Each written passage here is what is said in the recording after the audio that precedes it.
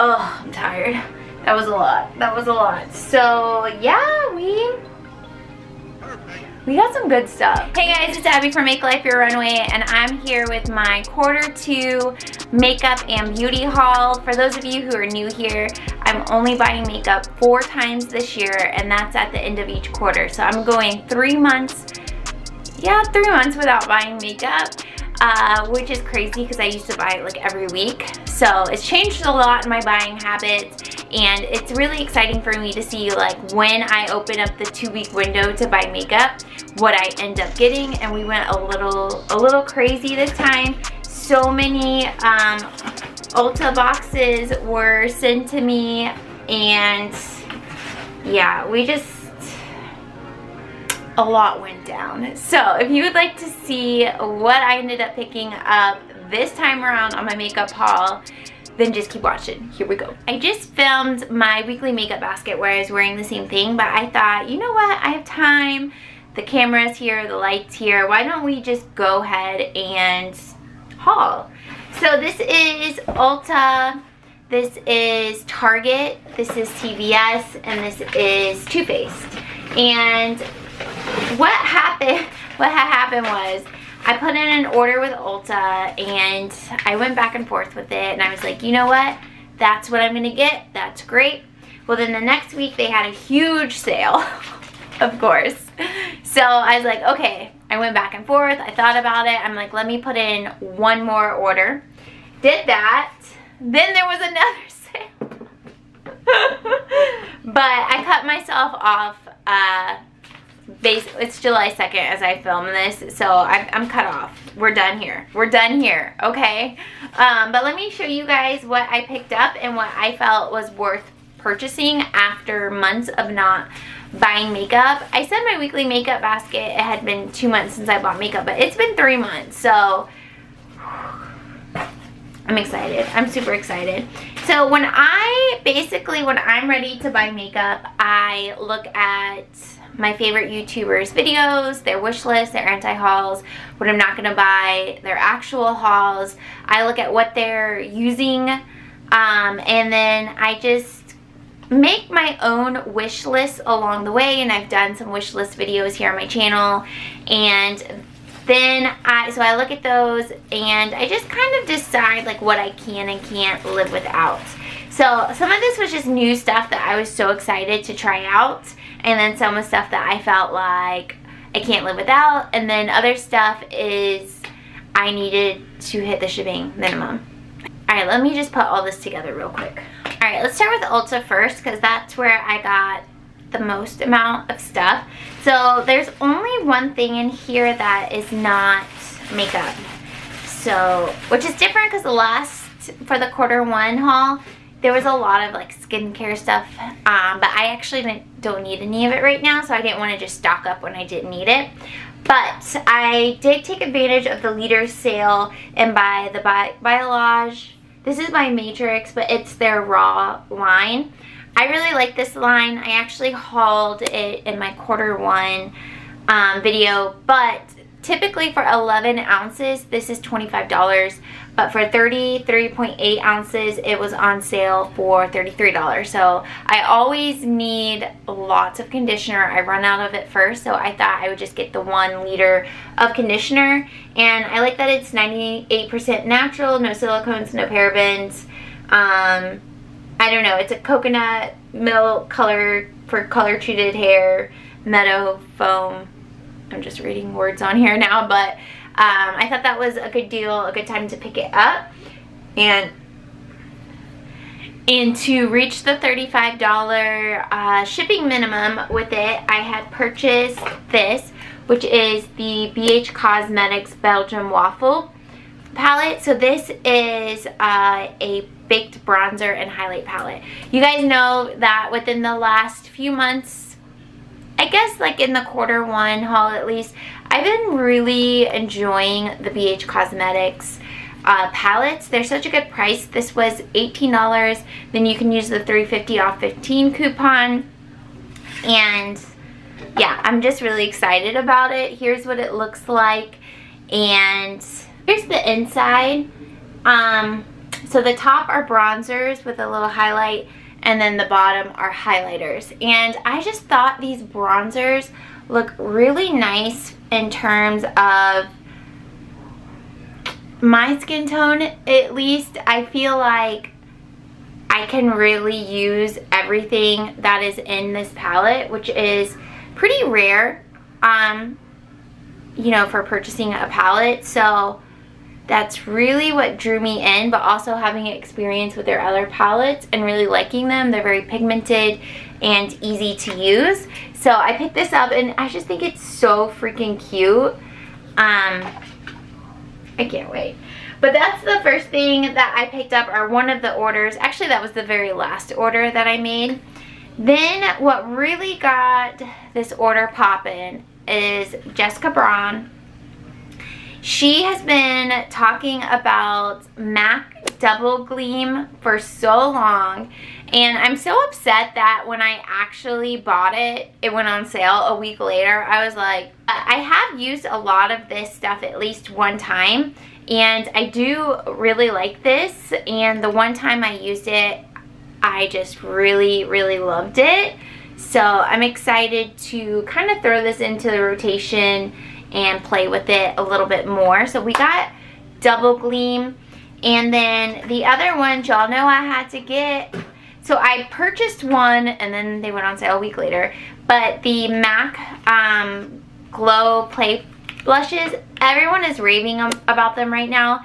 And i'm personally not like a cream blush bronzer person but these were described as like a cream to powder um, formula and i do like that so this color is called cheer up and when i saw they were on sale I had to get another one and this one is called um, So Natural and So Natural is the one Jessica talks about and I used um, Cheer Up one day and I absolutely loved it. It stayed on all day. I even did a workout in it and I just absolutely loved it so I thought why not just get another one while it was on sale and it's really cute. It's like their traditional packaging but clear. Um, love that. And this one's more of a peach color. And you can see it has like kind of that powder finish, but it's like smushy, like ColourPop type products. So I'll just swatch. That's what that looks like. I almost got a ColourPop blush, but I was like, well, if I got two of these, um, I might as well just call it at least for now. Maybe quarter three, call in October. We'll do that. So Natural I have not used yet. It's actually first time opening. So it does come with like this clear thing on top, like a little bubble. So I'm going to take that out. And this one's more of a natural color. Nude, I guess, would be the more correct term. More of a nude color. So I love this. I think this would go with like a lot of different skin types um, as well as the other one. I think they're just such versatile colors. So I love these and I'm excited to play with them a little bit more. So those were my MAC purchases and for one of the orders they had free MAC eyelashes. So I actually don't have any lash glue. I am going to get some so that I can play with them but here's what they look like. I never really play with lashes. Um, these are called A79 I don't know if they have like another name than that, but I do want to play with them and see. These are like pretty dramatic. so, okay. That was all from MAC. And then Juvia's Place, I wanted to purchase more because I, well, in particular, I want to purchase more from Juvia's Place. But this in particular, I was I've been eyeing it for months. And this is the Tribe Highlighter 03. I first saw Casey Holmes talk about it and then I saw some other people talk about it and I was like, I need it. So here's what the outer packaging looks like and you open it up and it's very uh, similar to Cookie Highlighter by Benefit. Um, and this one's just a little bit cheaper. But this one is like you got highlighter on today. Okay, there's no denying it. Like this is wham bam in your face. There's no looking back. You're blinding everyone. So, uh, it's a type. You know, it's a type. Do you like blinding highlighters or no? That's going to determine if you should get this. But I love it from the one time I used it. So excited to give that some love. Um, and then here are some products that are new um, that I just like, they were just spoke to me. So first is Maybelline's Glass Spray. So this is a makeup finishing spray. Skin looks hydrated and dewy. Those are my those are my words. Those are my selling point words. So you put that in an affordable brand? Yeah, I haven't used it yet, but I'm excited to use that. And then this one um, made me think of how MAC always comes out with their Fix Plus that are like scented and how they're so expensive I never get them. So Milani came out with a scented line and this one is called uh, mango coconut and it is their make it last spray. And I used it once and I think it smells really good and the sprayer is really nice and I already know I like this setting spray. And I was kind of thinking about getting one of their other scents but now my window is closed. But it, I don't know I just made me think of how I always wanted to try the MAC's Fix Plus but those are like $30 for like a scent to be I mean this was 10. and the sprayer, you know, is super nice. Ooh. It's like on the beach. That kind of mango coconut. Like you got a little cocktail. You got your sunscreen on. You're getting the rays. You know, that's, that's that smell. Love that. It's like lingering. I love this for us. Okay, we have two more products from Ulta. This one was kind of a like, let's hit the shipping minimum. And plus I've heard people talk about it. This is Color Pop. And this one's called Meteorite question mark. And this is one of their pressed blushes. And I don't think I've ever tried any of their pressed blushes. And I haven't tried this one yet either. But I love that it's another nude color. And it has like a little pink tint to it as well. Um, yeah, I'm excited. It's very similar to the MAC So Natural, at least in pan. I don't know like how they perform on the face, but definitely love having neutral blushes. Mine today is not super neutral, like she's here, you know? So they're good for like bold eye looks or maybe when I put the lashes on, I'm probably gonna need something a little bit more natural with it. Um, and then the last things I needed to hit shipping. Story of my life. So I threw in this Sun Bum Coconut Lip SPF Lip Balm. The coconut is strong. It's like, it's like sweet fake strong. I don't know. I'll probably use it days I'm outside, but I don't see it being like a favorite or anything like that. So, all right, that was everything from Ulta. Like, we need a break. We need a break.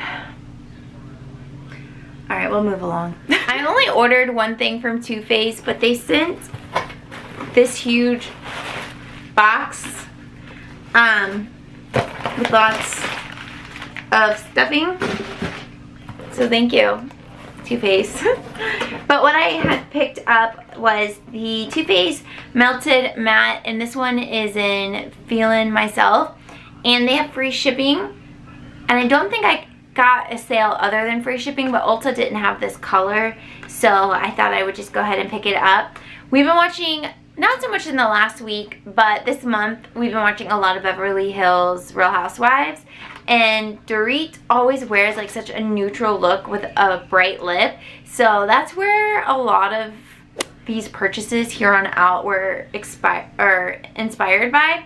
So again, this is Feeling Myself. It's like a coral color. And I know that I love this formula. So I thought I would just get like a bold look in it or a bold color and see how I like it. So I actually haven't even tried it yet, but I think it's gonna be really, really pretty. All right, CVS. We got a couple things from CVS. I have shown these in a weekly makeup basket, so this might be a repeat for some of you. But this is the, um, the Crème Shop. And this is Tikini, Tiki Bikini Bronzer. And this is what the outer packaging looks like. Super cute. This was about $8 at CVS. And then again, this is really like, I don't know, a chic. She's chic. But Casey Holmes is who I saw using this a few months ago. Um, I think she did a whole brand look with this. And ever since then, I wanted to try it. It is a little bit dark. It's right here. Um, but it blends out really nicely. So I'm excited to give that some more love. And then I, in the last couple years, I've really gotten into loose setting powders. But they're like a full-time job sometimes. So I want to incorporate more pressed uh, powders. But all the ones I have at this point are high-end, so I wanted some drugstore options. So I picked up CoverGirl. This is the uh, Advanced Radiance Pressed Powder. And I haven't, well, I guess I used it once, but I haven't really used it enough to have a feeling about it. But um, we'll definitely throw it in a weekly makeup basket here in the near future and see what we think. But it's definitely like that CoverGirl smell. Love that for us. But yeah, okay pressed powder. Excited to play with that. This is one that I have gone back and forth about for a long time, but I decided to go ahead and get it. And I picked it up from CVS, which is the Wonder 2 uh, Wonder Brow One Step Brow Gel. Uh, perfect eyebrows that last for days. And I got mine in Brunette, Brunette and it comes with a couple of things. It comes with like a, a spoolie to brush out your brows and then the actual product looks like this. I've used this a couple of times and the color is actually a really good match for me. So again, this is Brunette. Um, I will say it's a little a little trial and error as far as application goes. I think the best way for me to use it is going to be just um, get an eyebrow brush, pull an eyebrow brush out from my brushes. And because this is like a brush tip, this is a brush tip, so it's kind of hard to control. Not impossible, but it's a little challenging to figure out. But y'all, when I read on the packaging that it could last for three days, I was like, well, up to three days. I was like, I basically ignored it because I was like, oh, okay, I wash my face every night. I'm sure that doesn't apply to me. Eh, y'all. I don't think it hit three days, but it was, I put it on. It wore all day. I washed it, my face that night, washed it the next morning. It was still on. I went and taught a class, washed my face again while I took a shower, and it was like not as intense, but like there. Like my brows were still filled in, and I was like, Wonder Brow, you and I are to be together forever. I'm just to have to figure out how to apply you more efficiently. So I'm excited to play with this and try it. I think L'Oreal or Maybelline, one of those two companies has like, I think a, their version of this. But I wanted to try like the real thing first and kind of see maybe down the road if I if their versions compare to it. But I'm excited. And finally, we have some Target purchases. Um, this is just stuff that I've wanted for a while or was kind of like on a whim. It's like a mixture of both. So the first is the e.l.f. Bite Size palette, and this one is in Pumpkin Pie. These came out this year, and they're $3 for these little guys, and everyone keeps talking about the quality. So I just picked up one, and if I like it as much as the hype here on YouTube, then I'll like go down and get, go down, I'll go down there. I'll go down there and Target and get another one. Alright, so let me get the, this off. Alright, so here are the colors.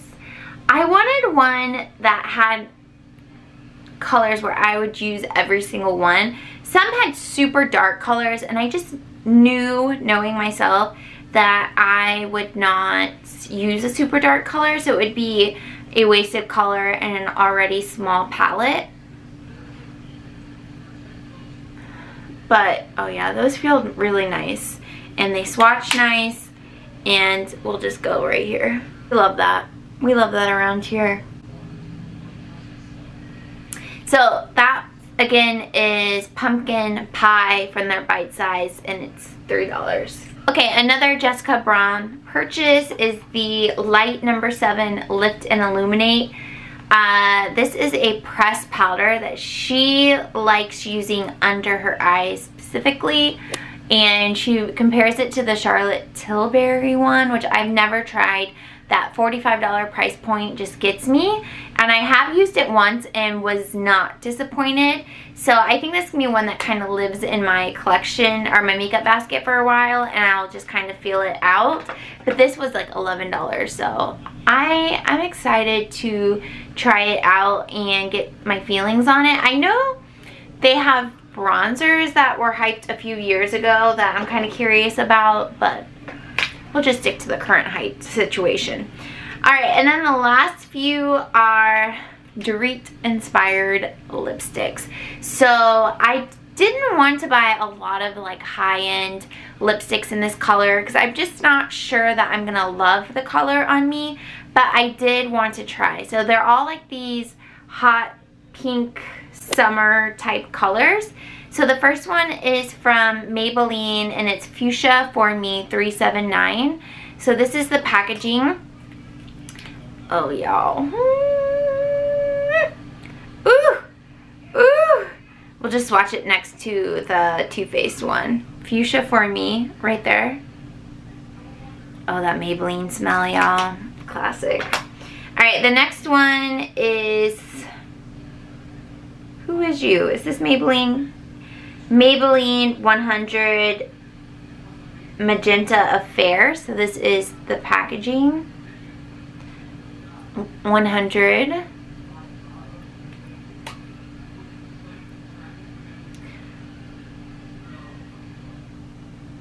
Yeah. This is more like a shiny one. I want so the first one was matte, but this one's shiny. So they're essentially the same color but different formulas because I was kind of thinking maybe shiny would look better but then I was like maybe matte would wear longer so I thought I would try it in two different formulas to see how I feel about it. Finally is L'Oreal. I have not had a Maybelline or L'Oreal lip product in so long. This is so exciting. But this is Miss Magenta 185. So it's just their classic gold bullet. And here is the bottom in the color. This, oh, I forget, is this like um, a, a matte? It's bold. this is a matte color. Uh, it's like a mix. So it's right there. So they're all very similar. We'll just see how I like each formula and I'll definitely let you guys know. But um, I was in a mood, if you couldn't tell, with the lipsticks. I was feeling a vibe.